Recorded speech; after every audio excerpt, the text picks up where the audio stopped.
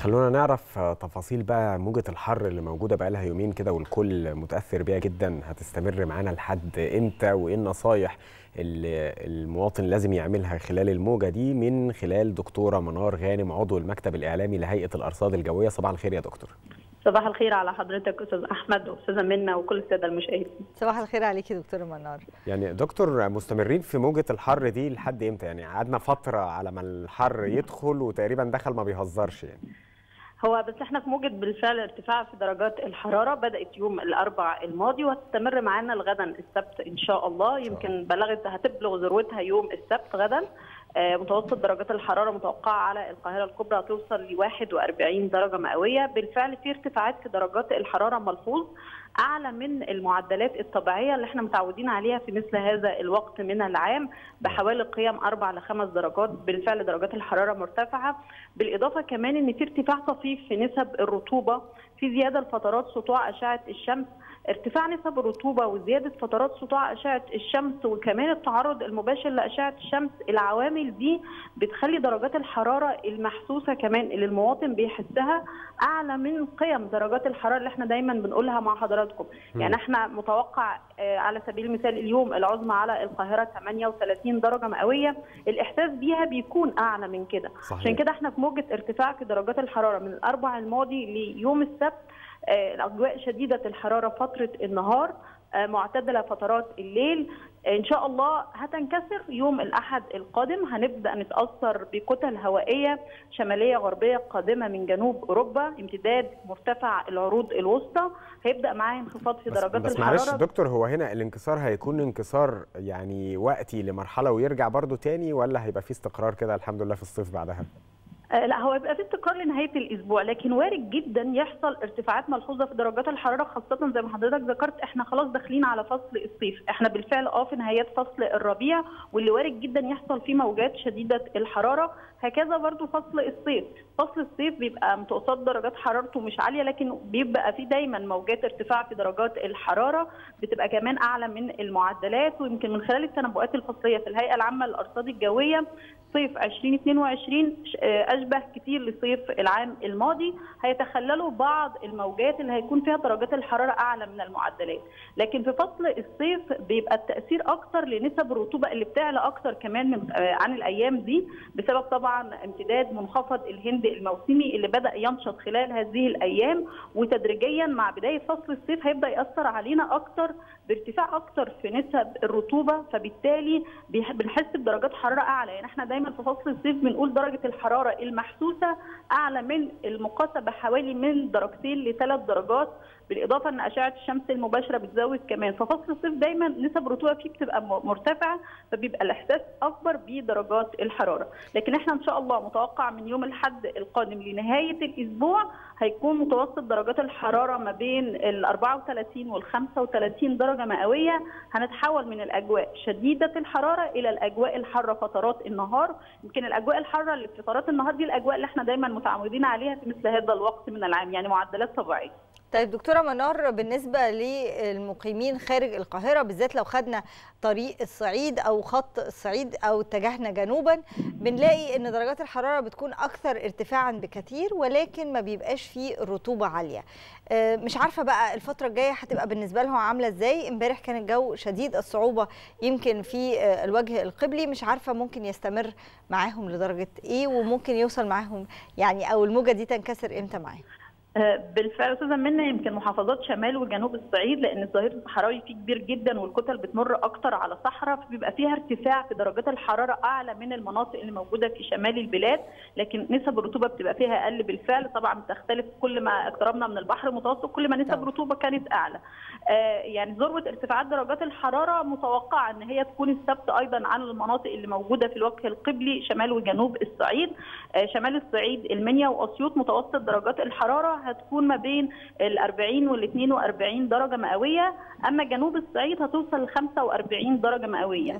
يعني أجواء شديدة الحراره فترة النهار. الموجة هتنكسر يوم الأحد هتنكسر على شمال الصعيد هتبدأ تنخفض على محافظات شمال الصعيد وتبدأ تنكسر تدريجيا لكن هتظل عليهم الأجواء شديدة الحرارة. جنوب الصعيد يمكن هتنكسر وتنخفض بمعدلات بسيطة لكن هتظل أعلى من ال 40 درجة مئوية في محافظات جنوب الصعيد.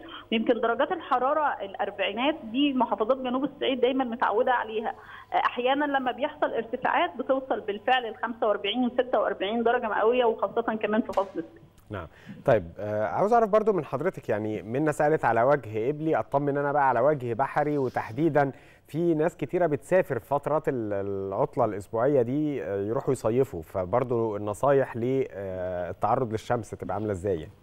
بالفعل هي المناطق المطلة تحديدا على البحر المتوسط يمكن هي تعتبر أقل درجات حرارة وطبعا عليهم ارتفاع في درجات الحرارة وهتوصل درجات الحرارة فيهم ل 35 و 36 لكن طبعا أقل من القاهرة لكن في نسب رطوبة مرتفعة فطبعا الإحساس هيكون بدرجات الحرارة مرتفع أو عالي. فدايما إحنا في فترة ارتفاعات درجات الحرارة لو إحنا موجودين في المناطق الساحلية أو إحنا موجودين على البحر نتجنب التعرض المباشر لأشعة الشمس فترة الظهيرة. من الساعة 12 الظهر للساعة 3 العصر الفترة دي بقدر الإمكان نبقى إحنا تحت الشمسيات أو بلاش إن إحنا ننزل البحر في الفترة دي. دايما لو هننزل هننزل في الصباح الباكر في الساعات الأولى من الصباح أو حتى بعد فترة العصر. أو إحنا موجودين تحت الشمسيات لأن أشعة الشمس المباشرة هتزود إحساسنا بارتفاع درجات الحرارة بشكل كبير وهتصيبنا كمان يعني يعني تقريبا كده الفترة من 12 ظهرا لحد 3 عصرا نحاول إحنا بقدر الإمكان نتجنب أشعة الشمس. بالظبط. ويعني ده شيء مهم جدا لكل المواطنين لأن يعني إحنا زي ما بنقول الفترة دي بنسجل فيها أعلى درجة حرارة على مدار اليوم كله فمهم مهم جدا. لو حتى إحنا موجودين في الشارع ومضطرين نبقى موجودين معانا غطاء للرأس الشمسيه أو كاب بشكل كبير نتناول قدر كافي من المرطبات والسوائل. دايما تبقى إزازة المية في ايديا ده شيء مهم جدا خلال الفترة اللي جاية. نرتدي كمان الملابس البيضاء والقطنية والفضفاضة الملابس الفاتحة اللون هتساعدني على عدم امتصاص أشعة الشمس. نعم. آه لو أنا طبعا في أماكن مغلقة تبقى الأماكن دي جيدة التهوية ده شيء مهم جدا خلال فترات ارتفاع درجات الحرارة. دكتورة منار وإحنا صغيرين كده كنا دايما بندرس حار جاف صيفا. دفي ممطر شتاء. ده كنا بناخد كده عن الجو في مصر. أعتقد إن إحنا في الشتاء اللي فات ما كانش دفي وكان ممطر. هل نقدر نقول إن الصيف دلوقتي كمان ما بقاش جاف؟ يعني إحنا شايفين الرطوبة بترتفع بشدة في الفترة الأخيرة. في فعلا تغير حقيقي في المناخ ونقدر نقول إن إحنا الفترة الجاية هنغير الأحوال الجوية كده اللي بندرسها دايما في الكتب. هو بشكل عام هو في تغيرات مناخية بالفعل وبدأت التغيرات المناخية تأثر على مناخ جمهورية مصر العربية. يمكن إحنا كلنا مستشعرينه. إحنا طبعا مش هنقدر نحكم على مناخ بلد كاملة بفصل معين. يعني ما نقدرش نقول إن الفصل ده عشان حصل فيه برودة شديدة فهنغير المناخ بتاع جمهورية مصر العربية. لكن إحنا بدأنا نشاهد ظواهر جوية عنيفة. بدأنا نشوف فترات كبيرة لموجات تبريد أو موجات ارتفاع في درجات الحرارة. فمناخ مصر بدأ يحصل فيه تغيير.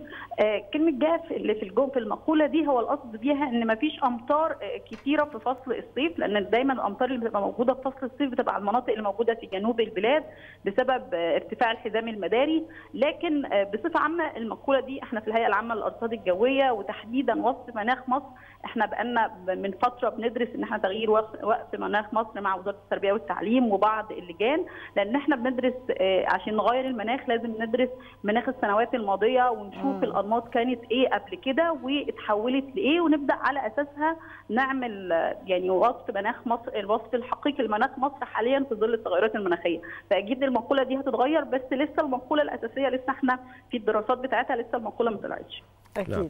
طيب آه عاوز برضه أطمن من حضرتك يعني آه في دلوقتي صوت الشارع بقى المواطنين بيقولوا إن الصيف دخل متأخر يمكن فصل الربيع ما قدرناش إن إحنا نستمتع بيه بالشكل الكافي زي ما كنا متعودين قبل كده بسبب تأخر فصل الصيف علينا.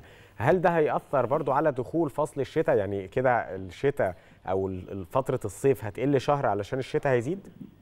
لا خالص. هو يعني رسميا أي فصل بيبقى متحدد له مواعيد معينة بمواعيد البداية ومواعيد النهاية وده طبعا م. بيبقى حركة ظاهريه للشمس وتعامد الشمس على مدار السرطان أو الجدي أو خط الاستواء نعم. ودايما لها مواعيد معينة. حتى إحنا في ربيع هذا العام إحنا ما حسيناش بارتفاعات في درجات الحرارة ملحوظ.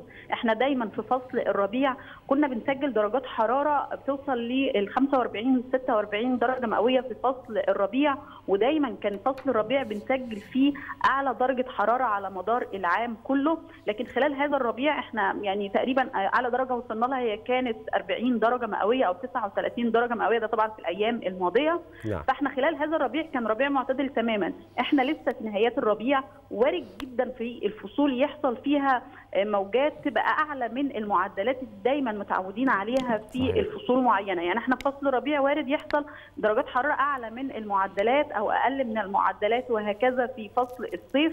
وإحنا لسه فصل الصيف القادم إن شاء الله هيبدأ 21 يونيو. يعني البداية الرسمية لفصل الصيف 21 يونيو. يعني تقريبا بيفصلنا عنه حوالي 10 أو 11 يوم عن بداية فصل الصيف. يعني مع ارتفاع درجات الحرارة ده إحنا لسه ما دخلناش في البداية الحقيقية للصيف. لا البداية الرسميه في الصيف لسه. إحنا في ارتفاع درجات الحرارة بالفعل لكن إحنا لسه في فصل الربيع وبداية فصل الصيف 21 يونيو اللي هيستمر معانا على مدار ثلاث شهور يعني تقريبا لحد 21 سبتمبر إن شاء الله هيفضل معانا الله. فصل الصيف. يعني على أي حال دكتورة منار يعني ربنا يلطف بعباده وإن شاء الله يهون علينا هذه درجات الحرارة المرتفعة. دكتورة منار غانم عضو المكتب الإعلامي لهيئة الأرصاد الجوية بنشكرك يا فندم على وجودك معنا في صباح الخير يا مصر.